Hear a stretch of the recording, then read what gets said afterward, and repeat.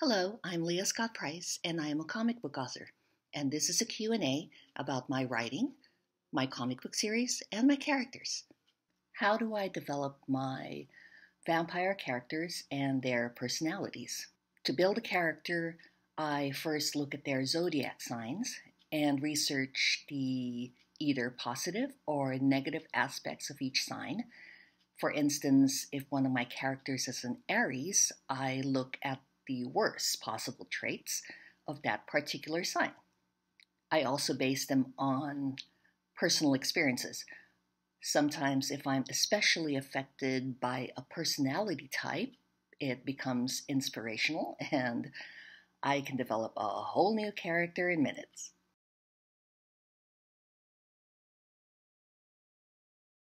It's not clear cut, so you don't know whether a character will turn good or bad. The characters can be conflicted. They can transform from good to bad or bad to good at any point. But guilt can set in, and then they can go back to good.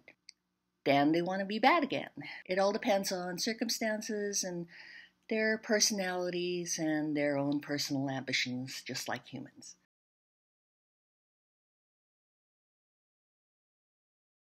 I have my movie method or my screenplay method where I imagine my novel as a movie in my head.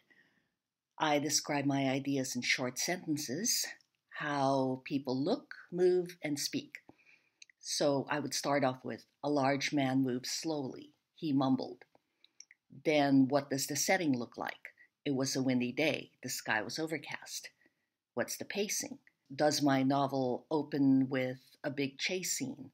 Then I begin filling in the details and the dialogue later. For instance, a large man moves slowly past shoppers in the street mall. He mumbled to himself. What does he say? It was a windy day. Scraps of paper trash from the street flew into his face. The sky was overcast over a nearby park. So you kind of fill in all those little details. As for the dialogue, I listen to how people speak and answer each other to make it more natural and convincing. So the next time you're out in public, listen to how people really speak. I used to have some actor friends read the dialogue to each other to see how it would sound. Backgrounds, I sometimes travel to the actual location or use the location I'm actually at or have been to. I research details about the location. I also describe what I see at the location. For instance, the sky over Brooklyn was overcast. The Brooklyn Bridge looked larger than I imagined it would be, and now here I am walking across it. The same methods apply to comic books.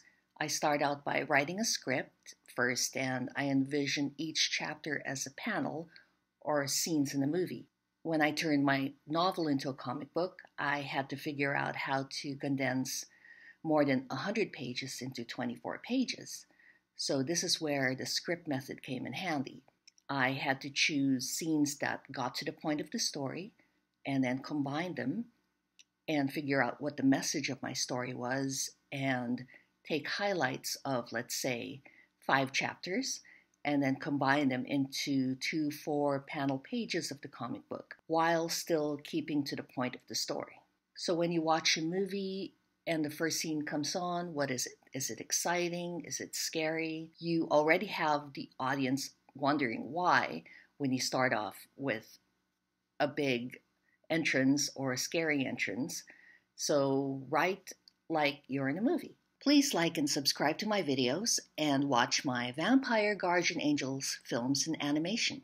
And please check out my work at patreon.com backslash Lia Scott Price, where I have my comic book series, my novels, and my drawing lessons and tips, and my writing tips, and Q&A and facts about my Vampire Guardian Angels characters.